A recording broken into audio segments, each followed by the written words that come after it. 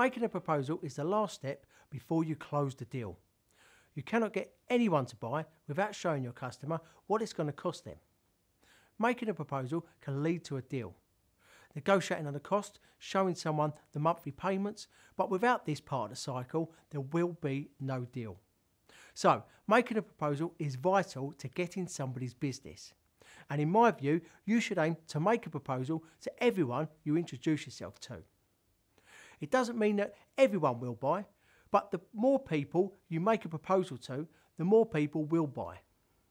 It's a simple fact. It's like a football player. You can't score a goal unless you take a shot, but sometimes you're going to miss and sometimes you're going to get the goal. Getting a goal is like closing the deal, and the more shots you take, the more goals you're going to score. Every customer you introduce your product to, make them a proposal. The ones that can buy and the ones that say they can't. Why would I tell you to do that? Because you may get a deal.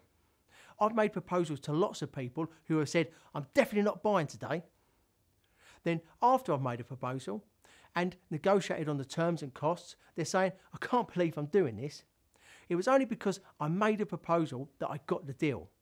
So, you have to be prepared to make a proposal to everyone, even the ones that say they won't buy. The salespeople who don't make proposals won't close anyone. Put yourself in the game and take the shots, even the long ones. Sometimes they pay. But you won't know unless you go for it.